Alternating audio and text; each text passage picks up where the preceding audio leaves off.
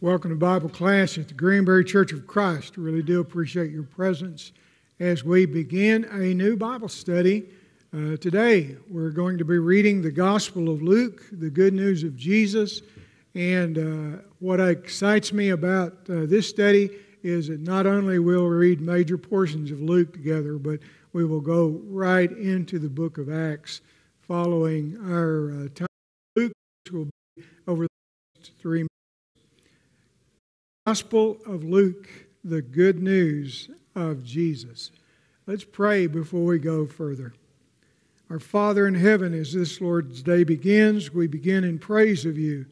For truly, this is the Lord's day. It is yours, and we are yours. Father, we cannot begin this day without giving you thanks for your provision of our needs, and certainly not only our needs physically, but our needs spiritually for indeed, as the Lord said, uh, man shall not live by bread alone, but by every word that proceeds from the mouth of God. So, Father, we give you thanks for the opportunity to be a part, to spend some time together in your word today, to be a part of this study. Well, Lord, we're grateful also for the gift of love that you have given us through your Son. Certainly, this will be in the background of our minds as we read the Gospel of Luke together. Our Father, we also begin this day with a confession of our sins and of our need for forgiveness. Our Father, we know that you are sovereign and that you are generous and you are gracious in your salvation and righteous in all of your judgments. Our Father in heaven, we praise you this morning. In Jesus' name we pray. Amen.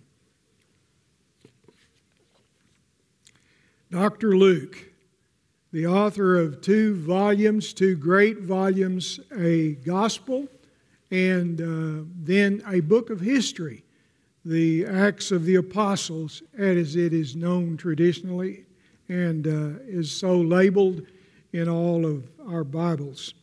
Two books of the New Testament which address uh, a single individual, is my opinion uh, they're addressed to Theophilus. And uh, of course, that word means friend of God. Uh, so, in a general sense, maybe all friends of God, but it seems to me, I think not. Um, it's interesting then that 27.5% of the New Testament, as we have it, is written initially to a single individual. And this amount of the New Testament is the largest single contribution by any author, and it provides the framework really for uh, what you see here. Uh, the church's calendar begins initially, uh, I guess, at the, the first day of Advent, which I believe would always be the first Sunday in, um, in December, though we're not folk who who give a lot of attention to the Christian calendar, but the Christian calendar is initiated by the first couple of chapters of the Gospel of Luke. And so uh, Luke really forms uh, the historical framework for the entire New Testament, uh, except, I would say, for the book of Revelation. But Luke starts with these birth stories of Jesus, and then he concludes in the book of Acts with Paul's imprisonment in Rome.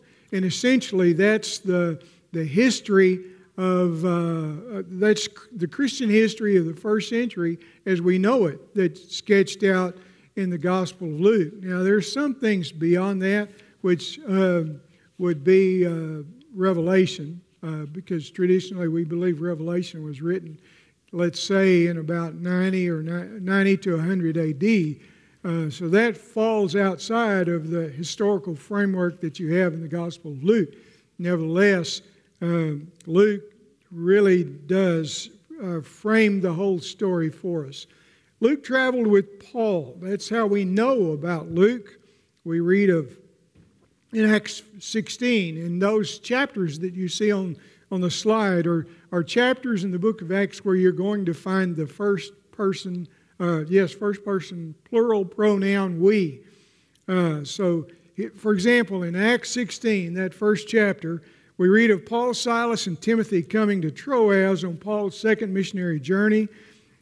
Acts 16, 6 through 8 tells of Paul's desire to go preach the word to, in Asia, uh, which would have been essentially uh, the, the province uh, whose capital was Ephesus, so in that region of the world. But he was forbidden by the Holy Spirit. And then they attempted to go to Bithynia, and that would have been in a northerly direction from this point of, of the history in Acts 16, where Paul, Silas, and Timothy were located but they were prevented by the Spirit of Jesus to go uh, into Bithynia. And so the only direction couldn't go west, couldn't go north, and so they go northwest. And they go to a city named Troas. They passed by Mysia, they went down to Troas. And what's critical here is they went down to Troas, third person plural. But in verse 9, we are told that a vision appeared to Paul in the night a man of Macedonia, saying, Come over to Macedonia and help us. Thus, the agenda for the continuation of the journey is set by the Lord. And then in verse 10, when Paul had seen the vision, immediately we sought to go on into Macedonia. And so the author of the Acts, who, uh, and we'll, we'll see some things how this corresponds to Luke, but the author of the Acts thus joins the, the group. So, what we kind of put together is the fact that Dr. Luke had a practice, Dr. Luke, who was a Christian, had a practice in Troas. Or maybe Paul converted him, although there's pretty good evidence that they didn't stay in Troas long enough. Nevertheless, Luke joins that group and they go to Philippi.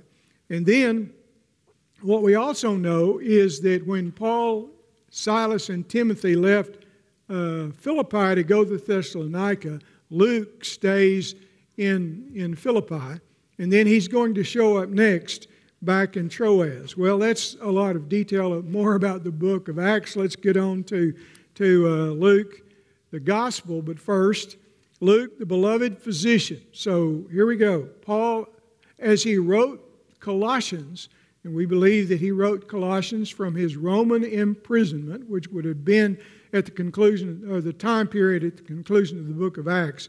That while he's there in prison, Luke, the beloved physician, is with him and sends greetings uh, back to the, or to the church in Colossae.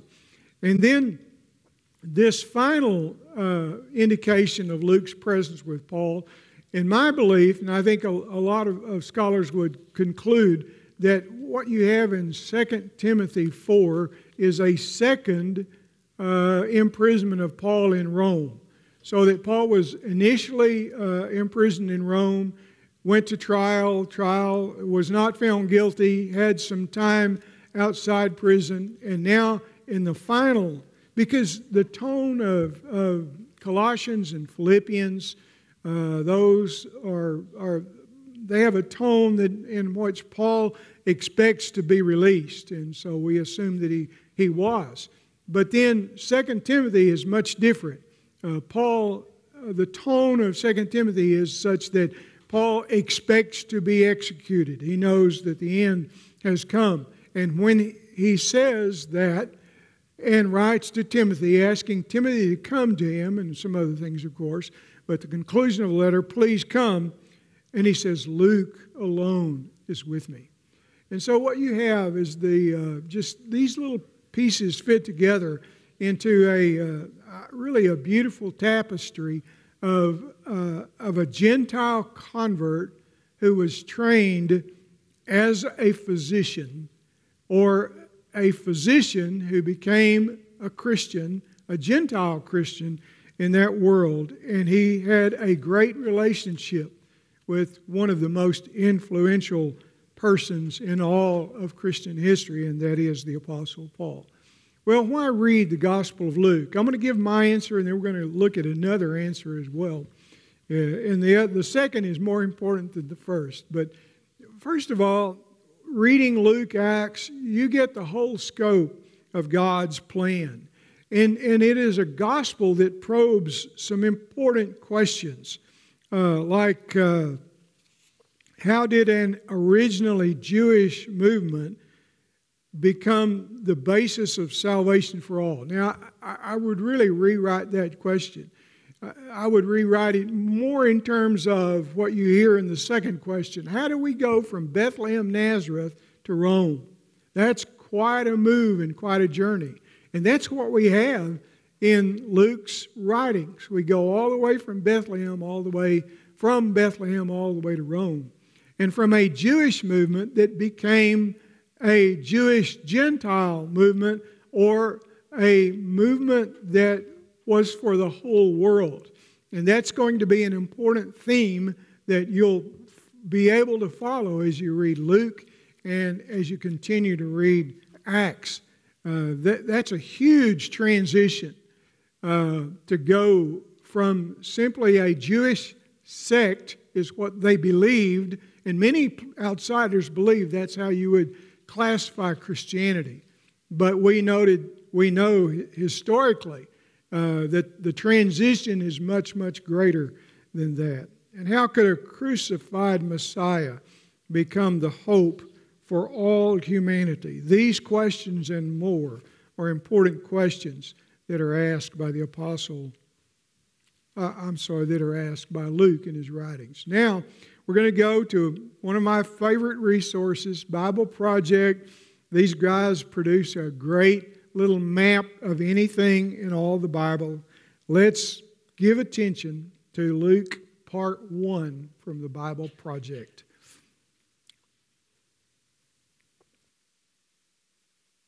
The Gospel according to Luke it's one of the earliest accounts of Jesus' life, and it's actually part one of a unified two volume work, Luke Acts. If you compare the opening lines of both of these books, it's clear that they come from the same author. And there are internal clues in the book of Acts, as well as an early tradition that identifies the author as Luke, the traveling companion and co worker of Paul the Apostle, who we know was also a doctor. Luke opens his work with a preface telling us how and why he wrote this book. He acknowledges that there's many other fine accounts of Jesus' life out there, but he wanted to go back to the eyewitness traditions of as many early disciples as he could, in order to produce what he calls an orderly account about the things that have been fulfilled among us.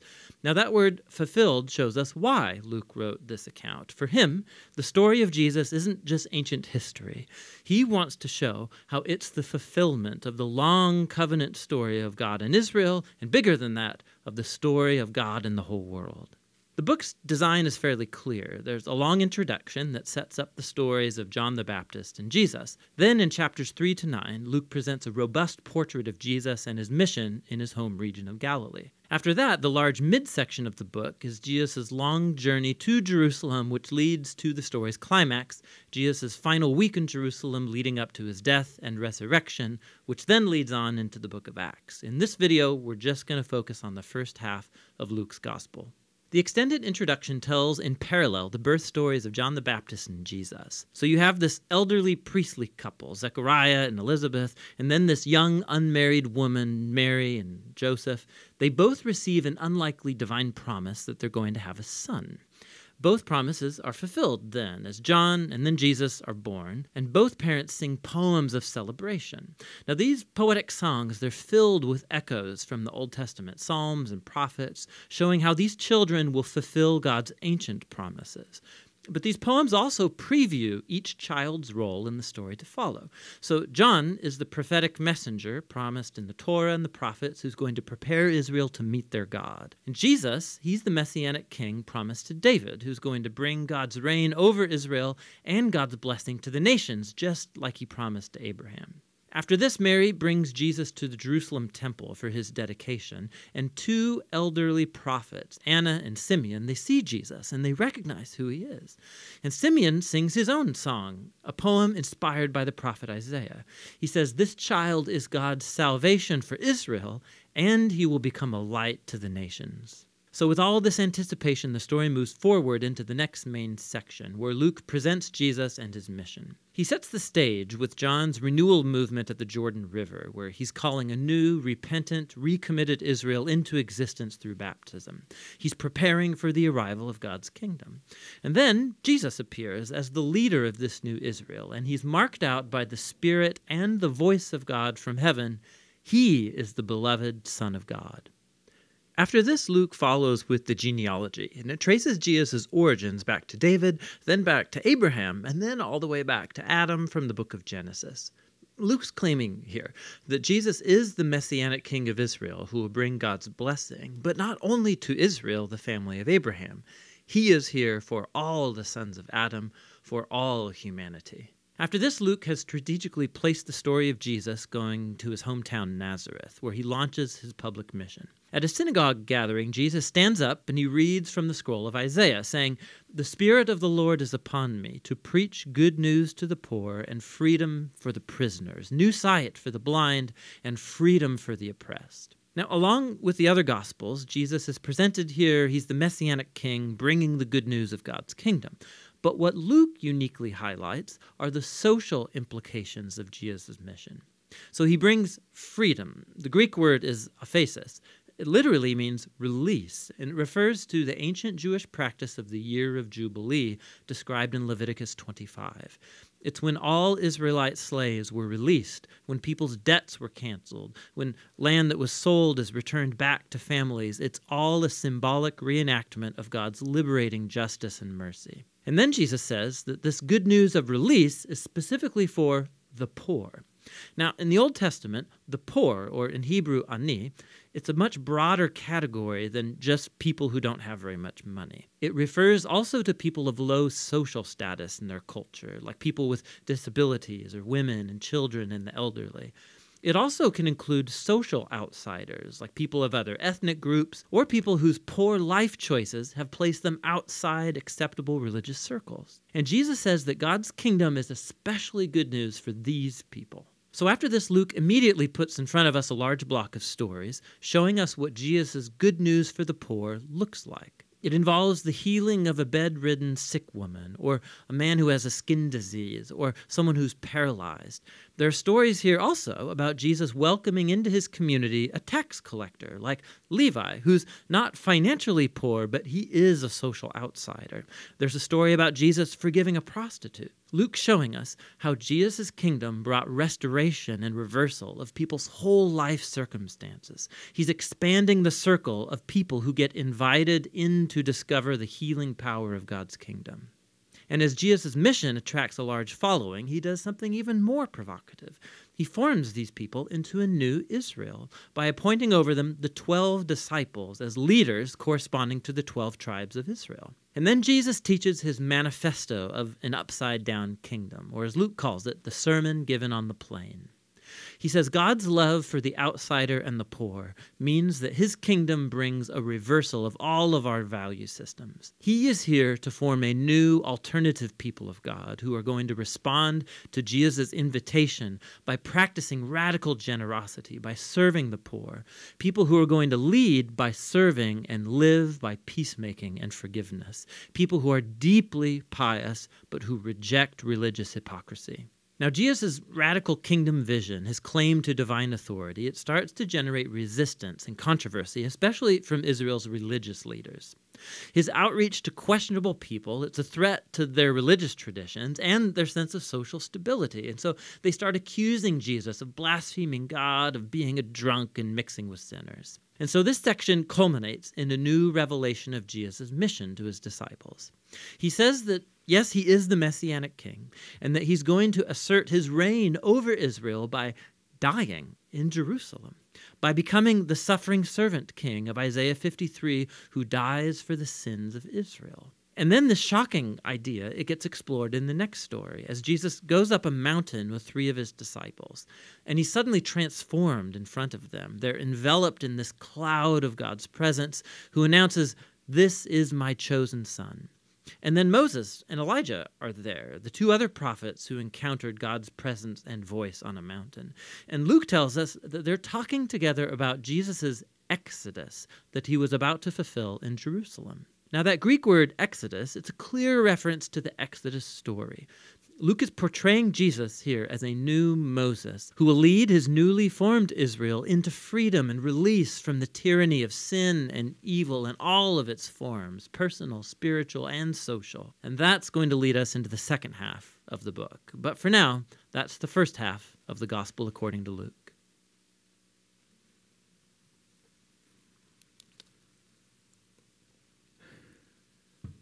If you want that resource, you can go to BibleProject.com. Uh, you can actually download and print the, uh, the map that they produce. Uh, uh and there, there, are several ways to outline Luke, and say uh, probably a, a good way to, because what, what is there is great, and what is there roughly fits the four parts that I'm suggesting you can remember for the Gospel of Luke. But chapters 1 and 2, the infancy material, then the preparation material goes from chapter 3 uh, to uh, 9a, let's say, uh, would be one of the ways to look at that. And then you could look at the remainder of, of the Galilean ministry which takes you all the way to 19, uh, uh, chapter 9, verse 50.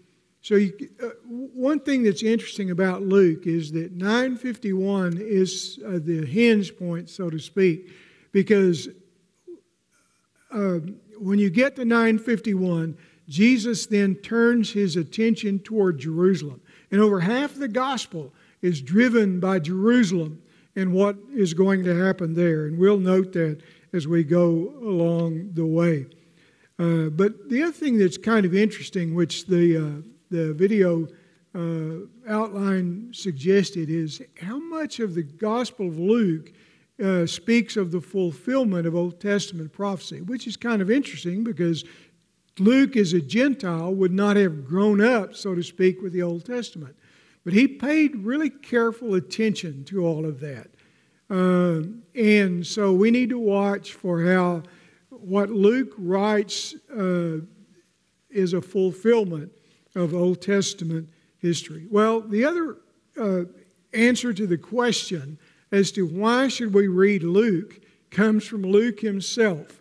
So, if you will, and I know part of the screen is dark, and what I did not do and what I want to do is we will read this entire uh, text um, uh, at the beginning of each class because this is, this is Luke's uh, purpose.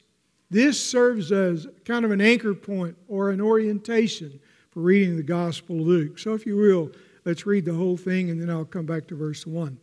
Inasmuch as many have undertaken to compile a narrative of the things that have been accomplished among us, just as those who from the beginning were eyewitnesses and ministers of the word have delivered them to us, it seemed good to me also, having followed all things closely for some time past, to write an orderly account for you, most excellent Theophilus, that you may have certainty concerning the things you have been taught. That's one long sentence in the original language it serves as the, as the introduction to all that will follow in the Gospel of Luke.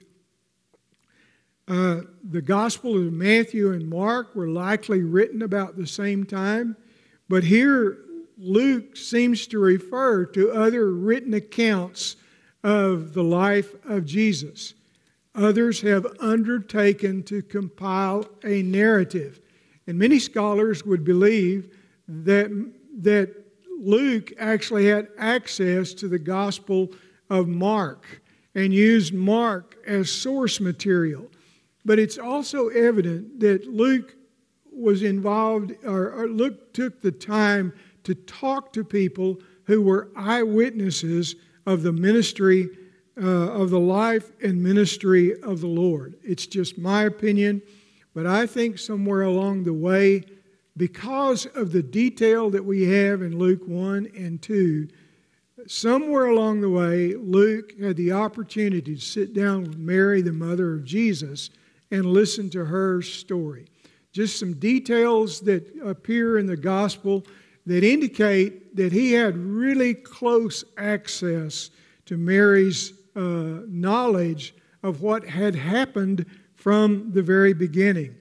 Just as those who from the beginning were eyewitnesses. And so he's saying, what he's saying is, here's my method. I went and, and interviewed, so to speak, the eyewitnesses. I found other written material and I pulled all of those together. I listened to the eyewitnesses. I listened to those who were preaching about Jesus, those ministers of the word, and how that has been delivered to us. And then Theophilus, that's the next verse. Uh, good friend Theophilus, uh, I've pulled all of this together for you. It is remarkable that all of this was originally and inten- uh, intentionally originally written for one person. Think about that. What, uh, what love he had for Theophilus. What, what and I, who knows? I would anticipate that Luke had the idea that other people are going to read this. But but that's he's not writing to the whole world. He's writing to one individual, Theophilus, one who loves God. But it sounds like to me not a general term for all believers, but a proper name with a title, most excellent, which indicates a person of some rank or distinction. Why does he write this? That you may know the certainty concerning the things that you have been taught. So you wonder was he already a Christian? Or was he thinking about becoming a Christian? If he's thinking about becoming a Christian, this, in a sense, is a, um, evangelistic material. This is what I will tell you that you would become a disciple and follower of Jesus Christ. If he's already done that, if he's already been baptized, uh, this is, uh, years ago, we had a, a book that we would use, a little teaching series called Now That I'm a Christian. And so maybe, maybe Theophilus has recently been baptized and he needs some Now That I'm a Christian teaching so that he would have assurance or certainty, that you would have certainty concerning the things that you have been taught. Which means that, that we are blessed to be able to sit, let's say, sort of beside, a little bit behind Theophilus and, and look over his shoulder and, and read the book with him, that we might have certainty concerning the things that we have been taught. Well, N.T. Wright speaks of Luke opening this introduction that we've just read, 1 through 4, as, as a huge stone entrance to the gospel. Welcome you impressively into a large building. And Luke is saying, here's something solid something you can trust. This is not a fly by night or casual account. It will hold its head up to the world at large. And when N.T. Wright mentioned the huge stone entrance, I thought of these Hellenistic gates to Perga. I was blessed to be able to visit uh, this archaeological site of the city of Perga, where Paul went through these gates on his first missionary journey. Perga is a city uh, on the southern, uh, not quite on the coast, but almost on the uh, southern coast, uh, uh, central coast of the what is now the country of Turkey. At that time, it was Asia. Asia, and and Paul walked through these gates. Uh, I walked through those gates with my good friend Calvin Warpula there on the left. Derek, and I cannot remember Derek's name at the time. He was preaching for a church in uh, Mount Pleasant, Texas. He's not there anymore.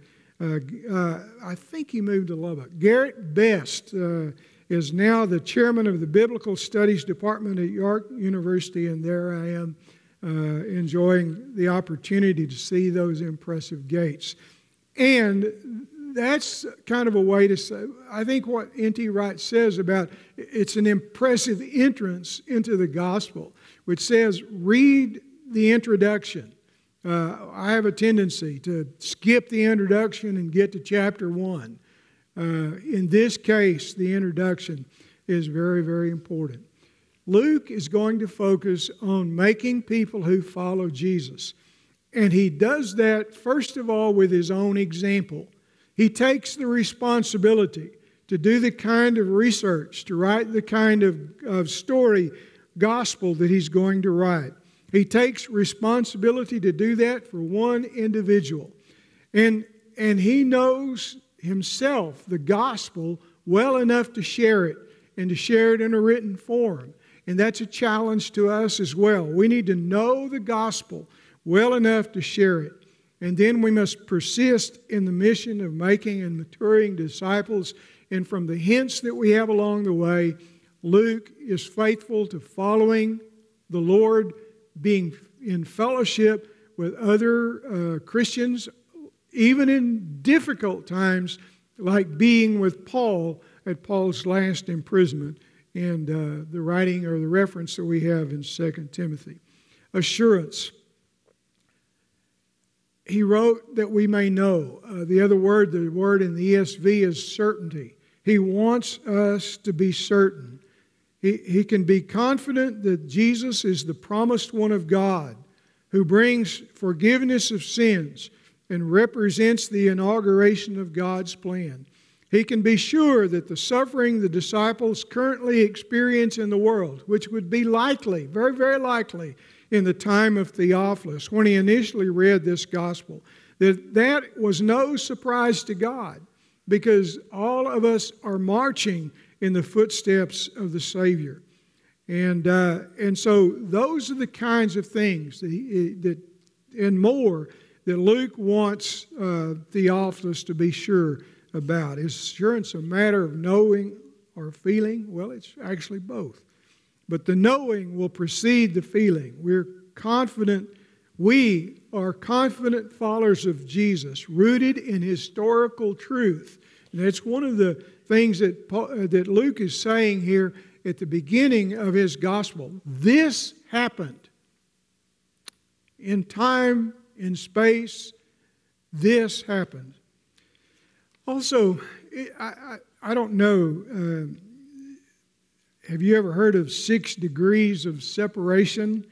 Uh, it was uh, actually a, an idea proposed in a short story in 1929. I didn't realize that this idea was that old. It seems like something would be a little bit more modern than that. But the idea is that, that say, you're only six degrees of separation between uh, yourself and anybody in the United States, for example, although the original proposal was anybody in the world. And kind of the way this works is I have only one degree of separation from Lee Harvey Oswald. Uh, I knew Lee Harvey Oswald's, Oswald's brother, who was a member of the Edgemere Church of Christ when I was a youth minister there back in the 70s. Uh, I'm only one degree of separation from George W. Bush. George W. Bush was a friend of Jack Wilkinson, who my dad worked for and managed his ranch for for 45 years. George W. Bush ate lunch in my parents' home uh, back when he was in the oil business in Midland. So I know that he's had at least one good chicken fried steak in his life. So we sit with Theophilus, which makes us really close to Luke and close to Jesus. So you have Theophilus, Luke, and then Jesus, or those eyewitnesses. So we're really close to the Lord. And as I said earlier, don't skip the introduction. Now we're going to read birth stories. In the days of Herod, king of Judea, there was a priest named Zechariah of the division of Abijah. And he had a wife from the daughters of Aaron, and her name was Elizabeth. And they were both righteous before God, walking blamelessly in all the commandments and statutes of the Lord. But they had no child because Elizabeth was barren and both were advanced in years. Now, I want to say, first of all, this is a story we've heard before. Where have we heard this story? Well, you read the Old Testament. Maybe in Genesis it is. That you read a story about an elderly couple who are childless and had prayed for a child. So it has an interesting beginning. And there is, from the beginning, a short thread that I'm not going to tie up until we get to the next lesson, maybe the third lesson. Yeah, it'd be the third lesson, actually. So I want you to remember here's where we started. We started with an elderly couple who did not have children, though they had prayed for children. And notice also how, again, Luke is careful to give us his initial reader and readers some historical anchor in the days of Herod, king of Judea. Not a precise date, but what he's saying is when Herod was king, this was what was going on. And so we have an elderly couple of the tribe of Levi, advanced in years, who had suffered the disappointment of being childless, and yet they were faithfully following God. And so Zechariah, while he was serving as priest before God, when his division was on duty according to the custom of the priesthood, he was chosen by Lot to enter the temple of the Lord and burn incense. And the whole multitude of the people were praying outside at the hour of incense. And while he is there, an angel of the Lord will appear to him while he places incense on the altar. This is a model of the temple where Zechariah was serving in the city of Jerusalem in the first century. This model is outside the, uh, it's an outdoor model outside the, the Jerusalem uh, Museum. And so he's inside that, that large structure there, and there's going to be people in the courtyards around it. You have the the courtyard where Jewish men could, get, could go, but not inside the temple. You had the courtyard of the women, which is toward the front of that whole structure. And then the outer uh, courtyard around all of that is going to be the court of the Gentiles, where Gentiles would be. And so he is, he is standing before this altar of incense, this little model of what the altar of incense would have looked like. And Zechariah is offering incense before God while the people outside were praying, for they knew the time of the offering of the incense.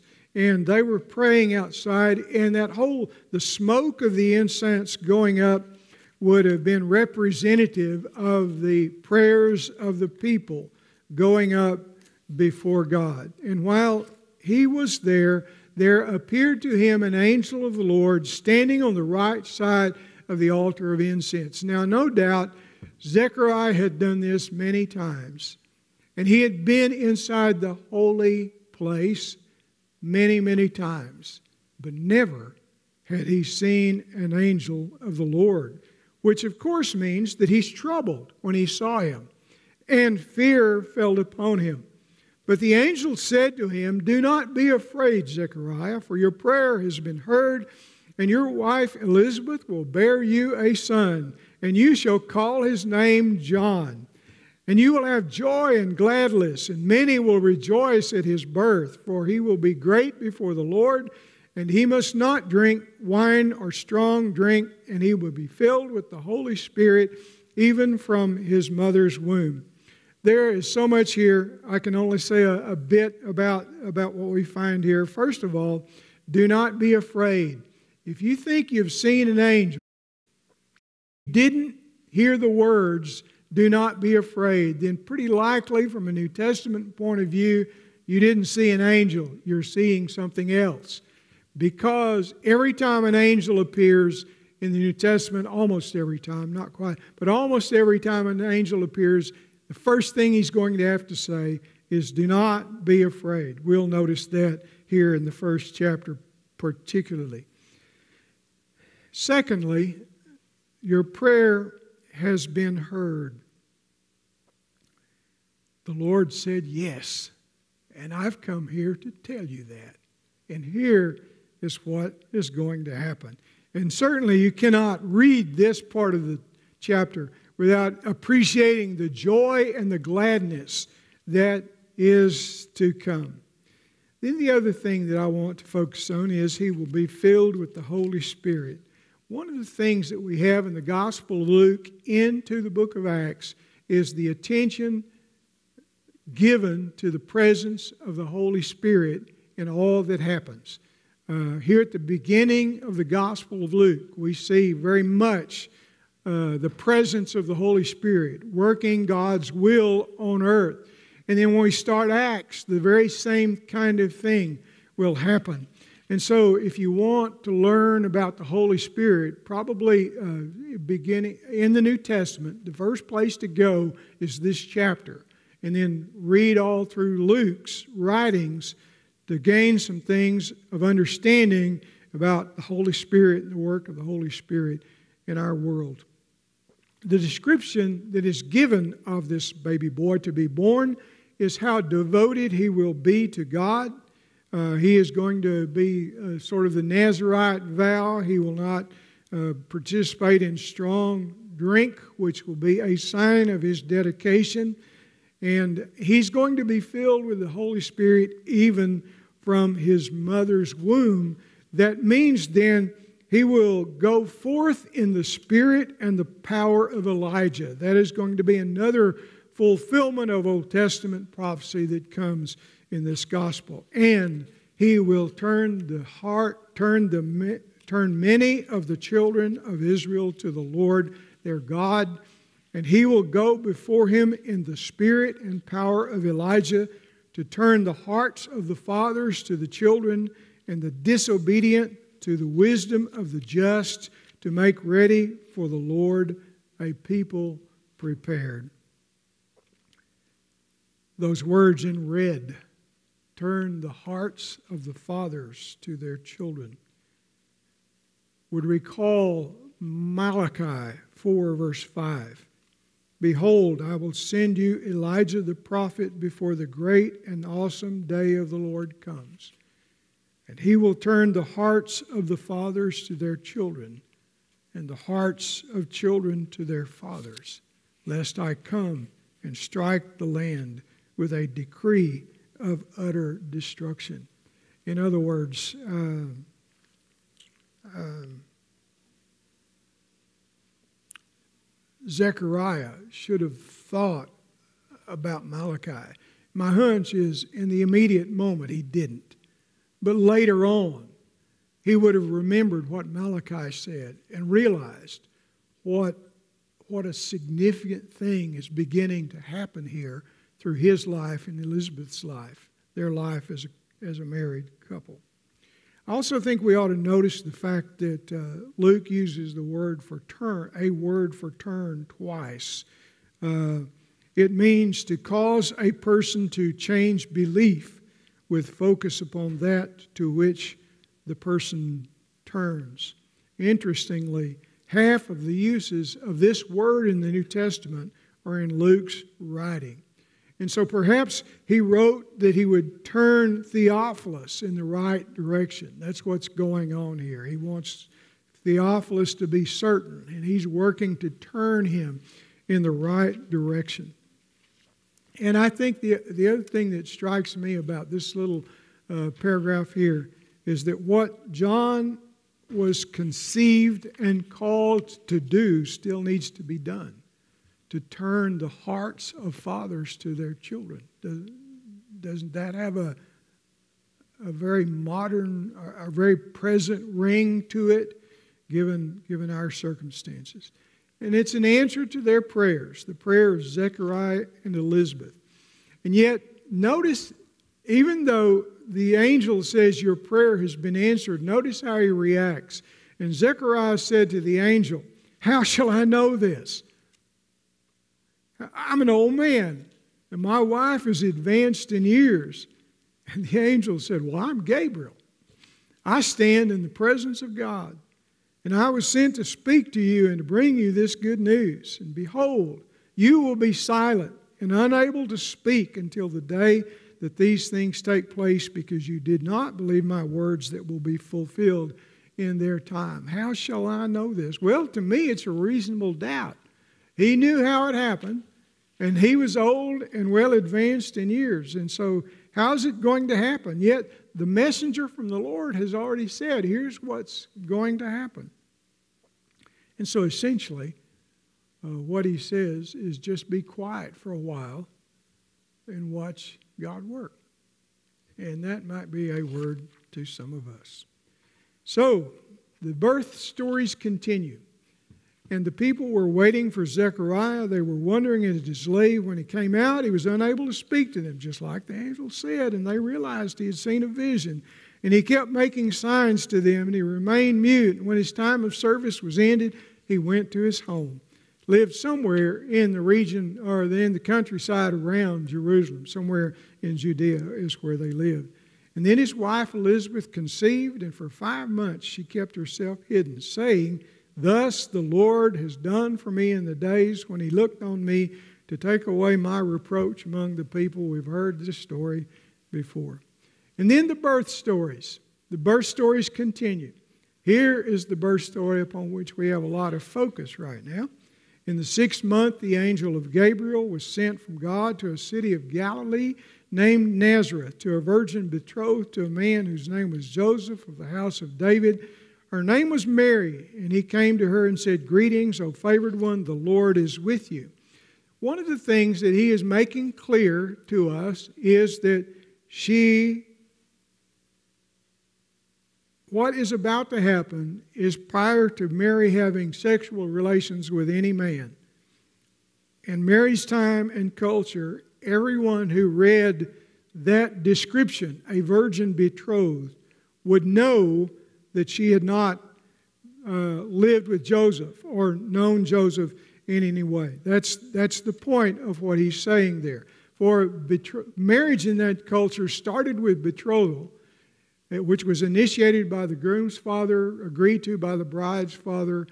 Then there was a bride price given to the bride's family and but it, but, but up to a year before the the uh, wedding would actually take place, and so sometime after betrothal, but before wedding, in this period of time, that's when Gabriel came to her. And she was greatly troubled, just like Zechariah, greatly troubled. What kind of greeting is this? And the angel said, Do not be afraid, Mary, for you have found favor with God, and behold, you will conceive in your womb and bear a son and you shall call his name Jesus. He will be great and will be called the Son. And so the announcement about both of these boys is that great things are coming. Great things. Both John uh, the baptizer, uh, John, son of Zechariah, and now Jesus to be born to Mary. And the Lord God will give him the throne of his father David. Again, you hear so much of the Old Testament being referred to and fulfilled here. You shall call his name Jesus, for he will save his people from their sins. He will be Son of the Most High. He will be given David's throne. That's uh, 2 Samuel, 1 Samuel 7. Uh, the Lord will give him David's throne. He will reign forever and ever of his kingdom. There will be no end. Her reaction is, well, it's a bit like Zechariah's. How will this be? I'm a virgin. The Holy Spirit will come upon you. The power of the Most High will overshadow you. The child will be born, to be born will be called Holy, the Son of God.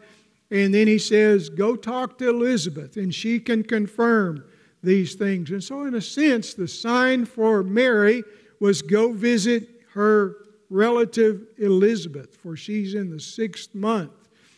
And uh, she who was barren is pregnant. You can go and see that. Nothing is impossible with God. And Mary's reaction is, I am a servant of the Lord. Let it be to me according to your word. And the angel departed, departed from her. Behold, I am a servant of the Lord. It actually means I'm a slave girl of the Lord. Her response was a response of complete obedience, and she humbled herself before God. And so, what we'll be doing is looking at what begins to happen from that point on which occurred in Nazareth, what we just read about uh, uh, Mary occurred up in Nazareth. Uh, Zechariah and Elizabeth lived somewhere down in Judea, but here's Jesus' world. We'll follow the Lord to places like Tyre, Caesarea Philippi, uh, Bethsaida, all the way down to Jericho, Bethlehem. That will be the journey that we follow in the Gospel of Luke. And it all really begins very close to the Sea of Galilee. God keeps his promises to David from 2 Samuel 7. Uh, God keeps his promises. I said first a minute ago, and I thought that doesn't sound right. It's 2 Samuel 7. To Israel, God keeps his promises to all families of the earth.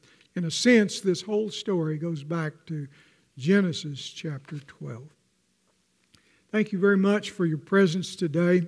Uh, I will say this it's all about some very ordinary people, but a very extraordinary God. That is a word of hope for us. Lord willing, next Sunday, Luke 1 39 through 56 is a good time to read the Gospel of Luke. The Lord, grace of the Lord Jesus Christ and the love of God and the fellowship of the Holy Spirit be with you all. Amen.